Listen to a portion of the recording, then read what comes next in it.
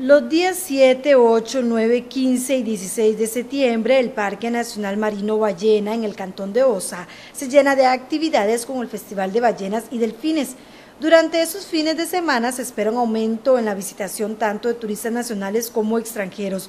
Por esa razón, la Fuerza Pública, los guardacorsas y la Policía Turística ya tienen sus planes listos para atender cualquier situación que se presente. Primero que nada, hacer un llamado a toda la ciudadanía de Costa Rica que venga y participe en este evento que ya es tradicional, que ya es un evento que, que muchas personas a nivel nacional esperan este momento para venir a ver las ballenas acá en este sector tan hermoso que es la península de Osa. el Servicio Nacional de Guardacostas se va a hacer presente un año más, vamos a participar, vamos a estar dando la seguridad tanto marítima y vamos a reforzar un poco lo que es el, aspecto terrestre.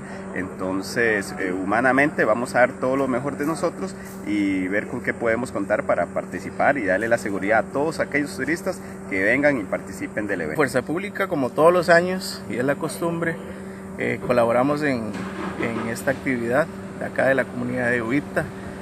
Eh, acá frecuentan muchos turistas para estas fechas, entonces nosotros tenemos todo un plan de trabajo ya organizado para tratar de darle la prevención correspondiente a, los visitantes y que puedan disfrutar de las bellezas eh, de este lugar con la mayor seguridad.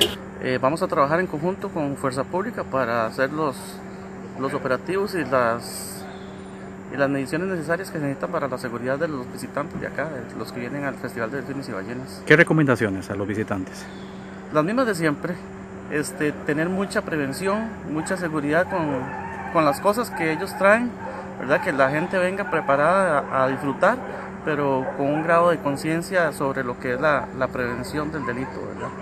Las autoridades piden a la población estar pendientes de sus artículos personales y cualquier situación reportarla al 911.